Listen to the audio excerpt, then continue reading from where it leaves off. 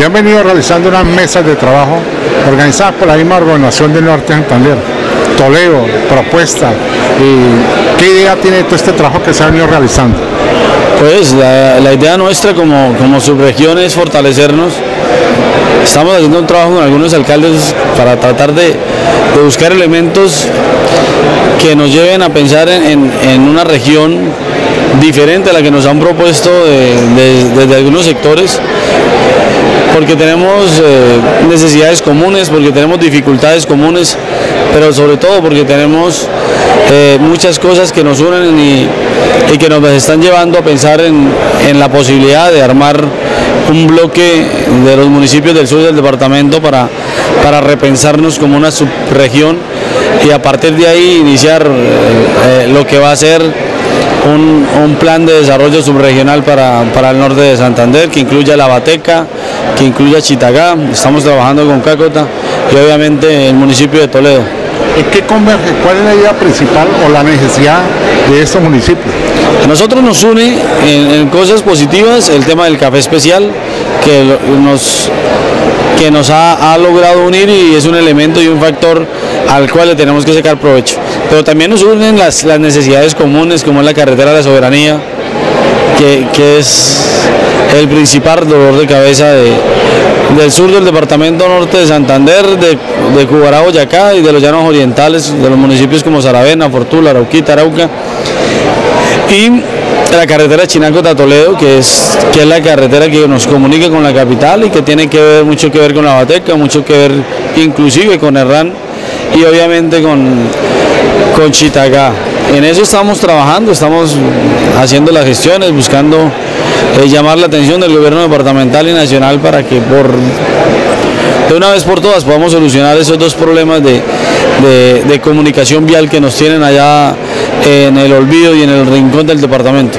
Precisamente, alcalde, uno escucha pronunciamientos, se asisten a reuniones, vienen personas de Bogotá, pero el tema no avanza. No, no, el tema no avanza, no es fácil. Estamos armando un bloque liderado por quienes habla. Estamos, los próximos días estamos esperando una cita con, con la ministra de Transporte para, para lograr esos dos, esos dos temas, como es la carretera Chinaco de Toledo y la carretera de la soberanía.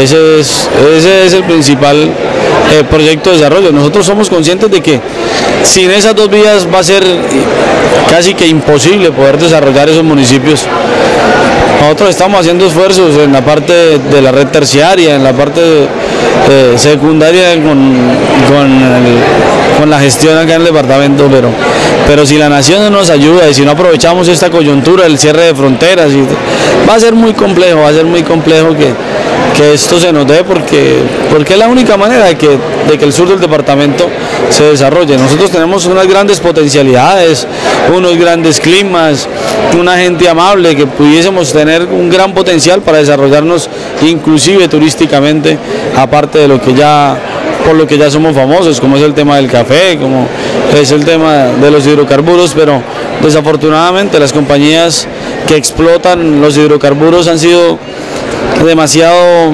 mezquinos con el, con el desarrollo de estas comunidades. ¿El tema frontera que está tocando ha perjudicado a Toledo o qué, en qué se ha beneficiado? No, el tema de frontera obviamente que, que perjudica a Toledo. Toledo, toda su margen oriental del municipio es frontera con Venezuela y, y obviamente que pues, tal vez no golpea de la manera como golpea aquí en, en Cúcuta, pero, pero a uno le preocupa es de que en medio de esa crisis que significa el cierre de la frontera, eh, ha faltado, ha faltado repensarse al norte de Santander, al área metropolitana. Esta debería haber sido la oportunidad de oro para haber cambiado la vocación productiva del norte de Santander. Aquí deberían haberse unido los gremios, la clase política, la academia, pensando obviamente en la posibilidad de, lograr de lograr cambiar la vocación y aprovechar ese gran problema para volver, para voltearnos hacia la productividad. Aquí hay talento, aquí hay clúster que, que rescatar, como el del calzado, eh, el de las confecciones, inclusive yo pienso, pero a esto hay que hacer un esfuerzo enorme de las fuerzas vivas, inclusive los medios de comunicación tienen que ayudar a ejercer presión para que, para que los dirigentes de este departamento eh, comprendan y comprendamos el momento histórico que estamos viviendo y yo pienso que de las grandes crisis tienen que salir las grandes soluciones y esto tenemos que pensarlo como tal. Esta es una oportunidad de oro para que para llamar la atención del gobierno nacional, para buscar apoyo en el tema internacional y mirar cómo nos vamos a repensar como, como departamento y como región. Hoy cómo está alcalde? Bien, Toledo se está recuperando, Toledo viene de, estar en el abandono, en el olvido, y estamos tratando de convocar a todas las fuerzas vivas, inclusive a las colonias, y aprovecho esta oportunidad que usted me brinda para, para invitar a, la colonia de, de, Toledano residente en Cúcuta, en Pamplona, en Bogotá, en Bucaramanga, aprovechar que este año cumple Toledo 130 años de vida municipal para lograr, para lograr eh, que todos volvamos a mirar a Toledo y que a Toledo lo podemos rescatar entre todos. Es, para nadie es un secreto en los últimos lugares que se encuentra Toledo, pero también yo sé que entre todos vamos a ser capaces de sacar adelante este municipio. Gracias, alcalde. Muchas gracias a usted, hombre.